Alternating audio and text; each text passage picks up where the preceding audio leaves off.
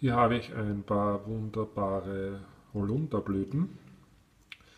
Ich habe mir die einfach vom Straßenrand direkt vom Busch geholt. Die gebe ich jetzt einfach rein in meine Wasserflasche.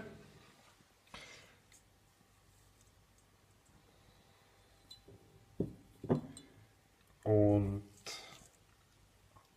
es können auch gerne ein paar Blätter dabei sein.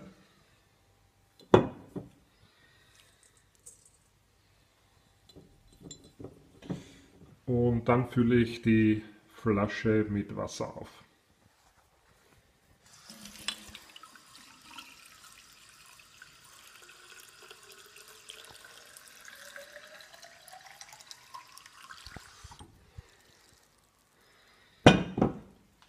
Ich lasse das für eine Stunde stehen und dann habe ich einen wohlschmeckenden Holunderblütensaft.